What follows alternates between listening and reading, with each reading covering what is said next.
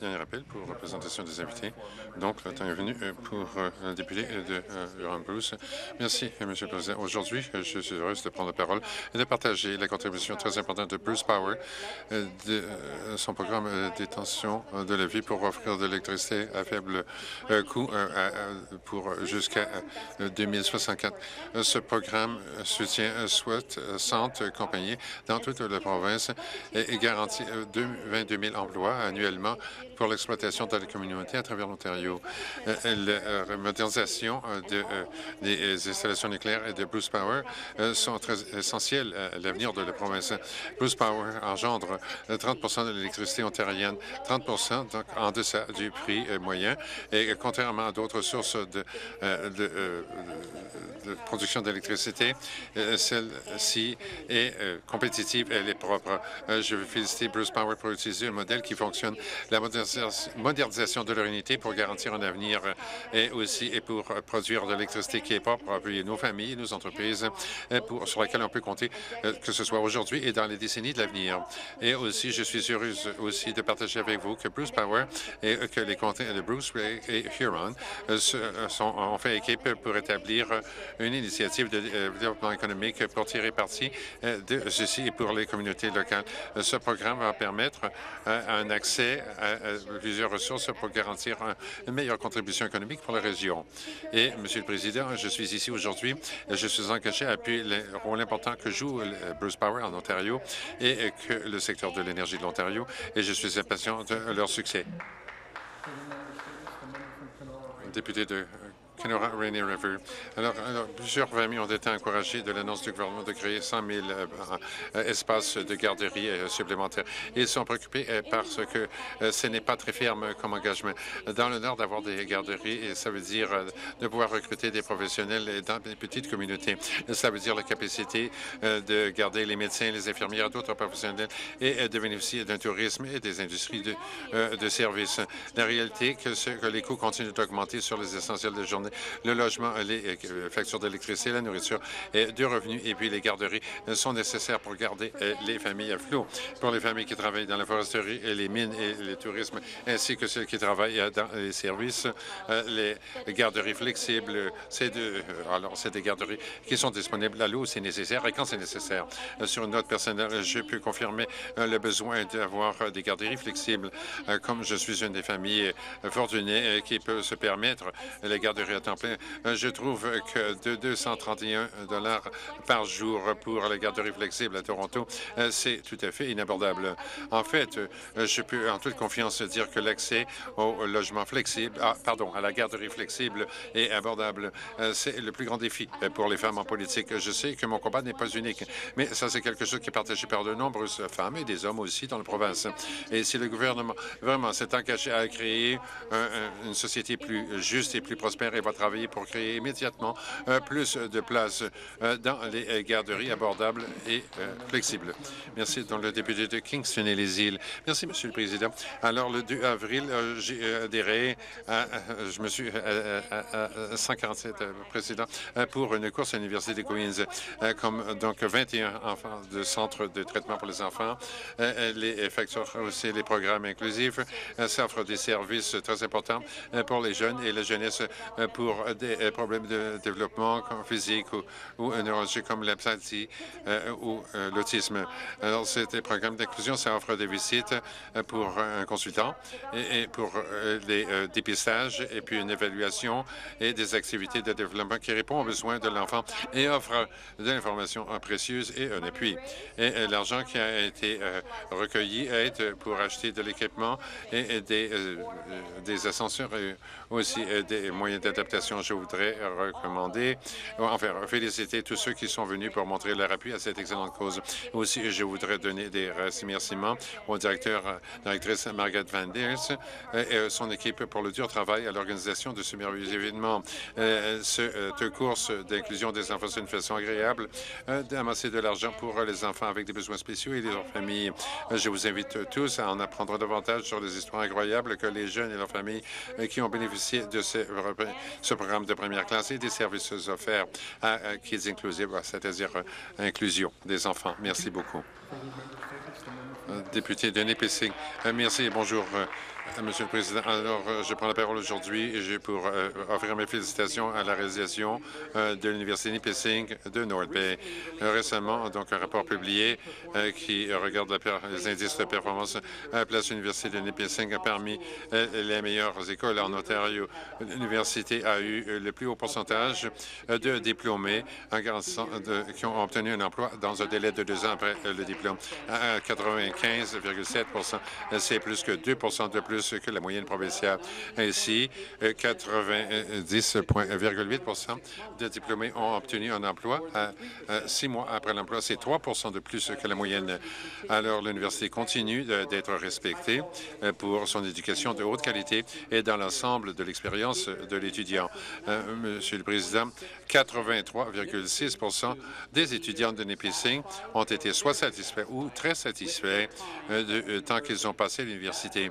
Ceci euh, place l'école à 6% au-delà de la moyenne euh, provinciale de 87,7% Et, Monsieur le Président, je suis aussi très heureux de partager que la bibliothèque McHarris à l'Université Nipissing vient de recevoir son 1 million, son 1 millionième de visiteurs alors, je veux féliciter euh, l'université pour remarquable, son remarquable rendement. Alors, déclaration. Déclaration supplémentaire. Député de Windsor-West. Merci, Monsieur le Président. Je suis heureuse de prendre la parole aujourd'hui euh, pour euh, partager ma préoccupation pour les commettants de Windsor-West. Alors, la préoccupation est reliée directement à une compagnie, Sterling Fuels, qui a reçu euh, plusieurs ordres euh, de santé et sécurité concernant l'entreposage et l'utilisation euh, de matériaux dangereux sur la propriété. Ce qui est intéressant à noter ici, c'est que Sterling Fuels est situé sur un territoire fédéral Hein, mais il y a eu euh, des euh, refus euh, de travail. Les travailleurs, comme ici, on devrait tous c'est très difficile pour les travailleurs de, dénoncer alors qu'ils pensent que leur environnement est, insécuritaire. Mais s'ils sont à risque personnellement, ils ne veulent pas prendre la parole et soulever les questions parce qu'ils ont peur de perdre des répercussions. Et parfois, ils ont peur d'être congédiés. Alors, donc, mais les travailleurs de Sterling Fuse ont soulevé la question encore et encore. Et Sterling Fuse continue de ne pas répondre, en fait, de respecter les attentes de réglementation et des lois. Et, cela met donc non seulement les travailleurs à risque, mais aussi les gens de ma communauté à risque.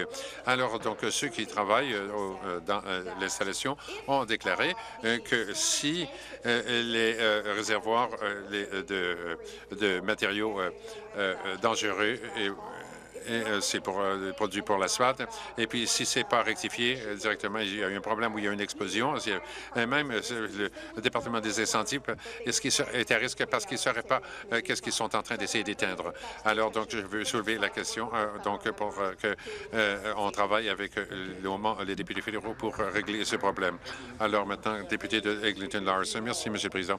comme vous savez, Foodland, Ontario, euh, donc, on va célébrer 30 ans aujourd'hui. Alors, euh, pour euh, célébration, alors, euh, donc, c'est important pour nous euh, de, euh, de, connecter nos fermiers qui travaillent très fort avec les épiciers et dans nos comtés. Alors, je sais que parfois les gens ne pensent pas que c'est très important, mais l'alimentation, la nourriture, c'est vraiment très important. L'alimentation qui, est savoureuse et, fraîche est vraiment à un prix compétitif, monsieur. Donc, mes collègues ne comprennent pas le fait parfois que parfois vous pouvez acheter un sac de 10 livres de, de patates, pardon, un sac de 10 livres des patates de Bradford, de Willingdale, 2,99 pour un livre, euh, pour 10 euh, livres de patates. J'ai acheté un, sac de 10 livres euh, de betteraves qu'on a fait pousser dans le marais de Holland. Et donc, 2,59 pour 10 dollars pardon, 10 livres à 259. Les gens adorent la qualité et la sécurité. Alors, donc, vous créez des emplois locaux, non seulement dans la ferme, mais aussi chez, donc, chez les épiciers, donc chez Green Grocers. Alors, le marché, c'est dirigé par la famille. Lady of ce sont des magasins dirigés par la famille. Ce n'est pas nécessaire d'acheter les choux-fleurs très chers pour 10 dollars un chou-fleur. Il faut acheter des patates locales, des betteraves locales, des courges locales. Il faut manger local et vivre local. Alors, donc, demandez à vos parents de cuisiner local. Merci. D'autres déclarations, député de Albert. Alors, merci, Monsieur le Président.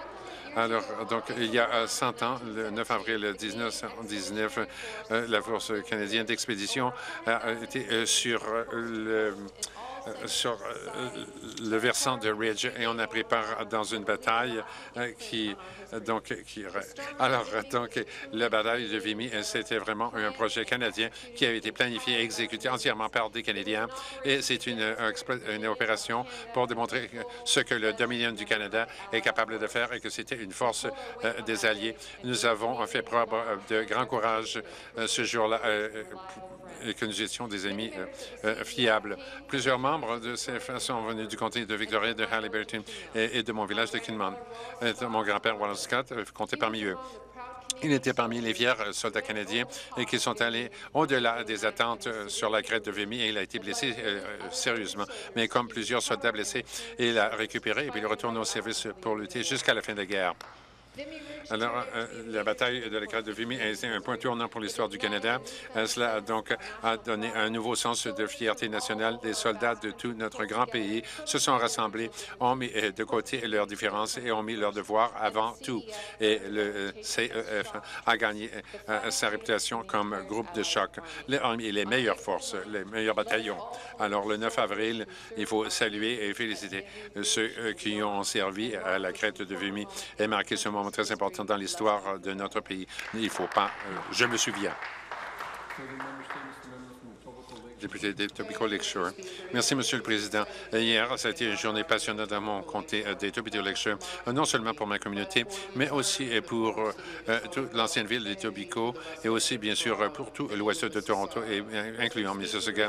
Monsieur le Président, donc, il y a eu beaucoup de développement dans la ville de Toronto et dans le Grand Toronto. Il est difficile de comprendre que le terminus du subway, donc, il y a 14 acres de terrain, terrain vacant. Ce qu'on a appris, c'est que la ville a décidé de redévelopper l'ancien euh, euh, terrain de Westland Theatre et aussi euh, de rétablir l'endroit qui s'appelle Spaghetti Junction et d'en faire un, ensemble de rues locales qui vont attirer les gens à utiliser leur vélo et à se promener. Aussi, ça s'était agencé avec de bonnes nouvelles avec la station de Kipling, avec le centre de Kipling qui va aller de l'avant pour intégrer le TTC, le Go Et le système MyWay de Mississauga.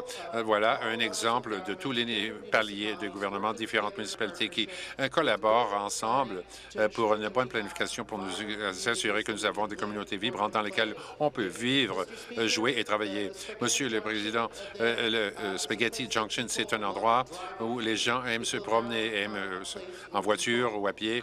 Ce sera un endroit où les gens vont vouloir se rendre et ces endroits, il y aura des restaurants, on pourra manger euh, euh, ces, produits, euh, ces fruits et légumes qui, sont, qui poussent ici en Ontario, dont mon collègue vient de parler. Alors, c'était une grande journée pour Etobicoke Lakeshore et on n'a encore rien vu. Député. Alors, donc, en avril chaque année, il faut être un donateur. Alors, c'est reconnu pendant le mois d'avril. Sur l'objectif est de souligner l'importance euh, des dons euh, euh, d'organes. Alors, en 1600 Ontariens attendent des transplantations, alors des greffes. Alors, chaque trois jours, des gens qui vont mourir parce qu'ils n'ont pas reçu, plusieurs comprennent l'importance de donner des organes et des tissus, mais seulement 30 d'entre nous sont inscrits comme donateurs. L'inscription est très importante et ça peut être fait par n'importe qui au-delà de l'âge de 16 ans. Un, donateur d'organes peut sauver huit vies et améliorer la vie de 75 avec les dons de tissus. Alors, cela a aidé près de 1300 personnes. 13 000 personnes. Alors, il est possible de changer ou de retirer votre inscription de don à n'importe quel moment. les dons les, de tissus et d'organes, c'est possible grâce au, au, réseau de Trillium et, cette agence qui voyage d'RHPA pour inscrire les nouvelles personnes. Pour s'inscrire, ça prend quelques instants, seulement deux minutes. il faut vous inscrire, Monsieur le Président, vous-même à www.beadonor.ca et essayer de répondre au message. Merci beaucoup. Je suis déjà inscrit. Euh, pour le don des tissus, je le suis déjà. Alors, je remercie tous les députés de leur déclaration. Maintenant, nous en sommes au rapport des comités.